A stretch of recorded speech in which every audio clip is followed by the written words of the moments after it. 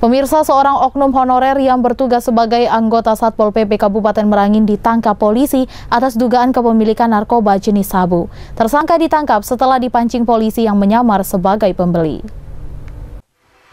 FA, oknum honorer Satpol PP Kabupaten Merangin terpaksa diamankan jajaran Satres Narkoba Polres Merangin. Dirinya disangkakan kasus tindak pidana narkotika jenis sabu Tersangka ditangkap di salah satu rumah makan di Desa Muara Siau, Kecamatan Muara Siau, Merangin pada Rabu malam. Oknum penegak perda itu ditangkap berdasarkan pengembangan kasus penyalahgunaan barang terlarang narkoba jenis ganja yang lebih dulu ditangkap di Dusun Sungai Tebal Desa Tuwo, Merangin. Tersangka diringkus setelah seorang anggota Satres Narkoba melakukan penyamaran dengan cara menghubungi pelaku dan memesan narkotika sabu untuk dibeli. Pelaku datang menghampiri anggota polisi yang melakukan penyamaran di rumah makan dengan membawa paketan sabu untuk dijual. Sesampai di rumah makan, pelaku langsung diamankan dan dilakukan penggeledahan.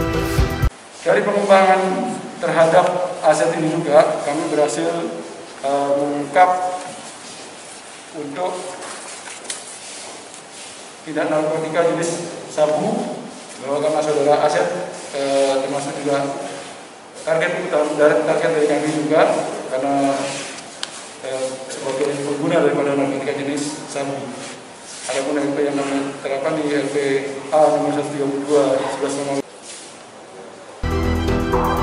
Barang bukti yang diamankan yakni dua buah plastik bening yang diduga berisi narkotika jenis sabu, satu buah kotak rokok Magnum, satu buah kotak rokok Rasta, satu unit HP Android merek Samsung warna hitam, serta satu unit sepeda motor merek Yamaha Jupiter warna biru beserta kunci kontak. Riko Saputra, Cek TV, melaporkan.